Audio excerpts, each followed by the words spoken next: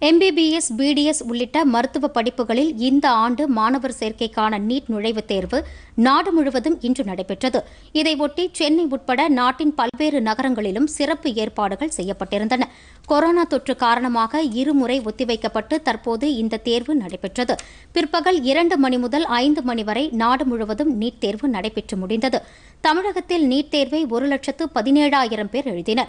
அகில இந்திய அளவில் மொத்தம் பதினைந்து லட்சத்து தொன்னூற்றி ஏழாயிரத்திற்கும் மேற்பட்டோர் நீட் தேர்வு எழுத விண்ணப்பித்துள்ளனர்.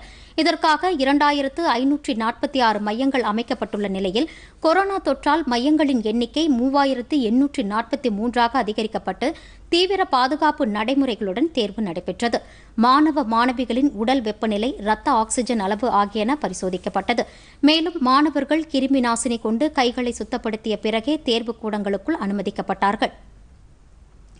இதனிடையே இன்று நடைபெற்ற தேர்வு எளிமையாக இருந்ததாக மாணவர்கள் தெரிவித்துள்ளனர். நாமக்கல்லில் எமது செய்தியாளர்களிடம் பேசிய அவர்கள் தேர்வு முகமையே தங்களுக்கு முகக்கவசம் வழங்கியதாக தெரிவித்தனர். ஈஸியாக தான் இருந்துச்சு. அப்புறம் பயாலஜி கொஞ்சம் ஈஸியாக அட்டன் பண்ணுற மாதிரி இருந்துச்சு. கொஞ்சம் கான்ஃபிடென்ட்டாக இருக்கணும். அப்போ நம்மளால் ஈஸியாக எல்லாத்தையும் அட்டன் பண்ண முடியும்.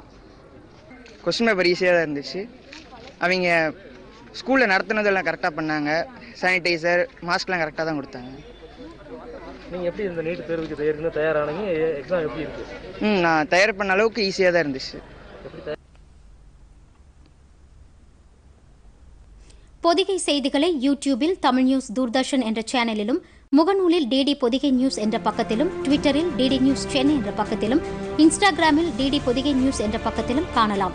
மேலும் உங்கள் கருத்துக்களை Podhigai DD news at Gmail dot com என்ற மின்னஞ்சலிலும் தெரிவிக்கலாம்.